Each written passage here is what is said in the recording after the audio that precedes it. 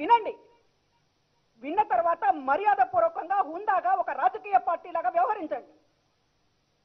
అక్రమాల జోలికి వస్తే కబడ్దార్ ఏమిటిది? మీ జోలికి ఎవరు రాకూడదా? మిమ్మల్ని ఎవరు ప్రశ్నించకూడదా?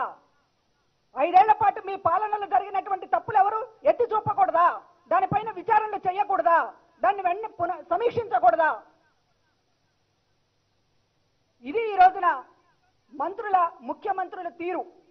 ముఖ్యమంత్రి దగ్గర నుంచి ఆయన కొడుకు దగ్గర నుంచి మంత్రులందరూ కూడా ఈ రోజున ఏ విషయం మీదైనా సరే విచారణ అంటే భయపడుతొస్తున్నారు ఎక్కడ అక్రమాలు బయటకు వచ్చి తమ కేసుల్లో ఇరుక్కుని జైలుకు పోవాల్సినటువంటి పరిస్థితి వస్తుంది అనేటటువంటి ఉద్దేశంతో విచారణ అంటేనే ఒక కేబినెట్ సబ్ కమిటీ వేస్తేనే అది ఇంకా ఎఫ్ఐఆర్ కాదు విచారణ కాదు లేకపోతే దర్యాప్తు సంస్థ కూడా కాదు.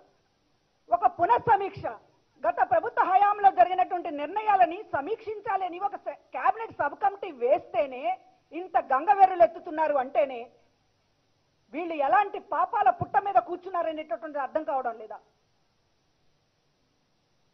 కనుక ఈరోజు మంత్రులు ముఖ్యమంత్రి ఆయన కొడుకు అన్నిటికీ సిద్ధంగా ఉండండి. మీరు సమాధానం చెప్పాల్సినటువంటి జవాబు చెప్పాల్సినటువంటి పరిస్థితి ఈ రాష్ట్రం ముందుంది. Hi, this is Trisha. I'm Radhika Apte. వస్తాను కృష్ణమూర్తి నేను ఆలీ మాట్లాడుతున్నాను You're watching E3 Media Network. E three media network E three media network E3 Media Network. E3 means entertainment entertainment, entertainment.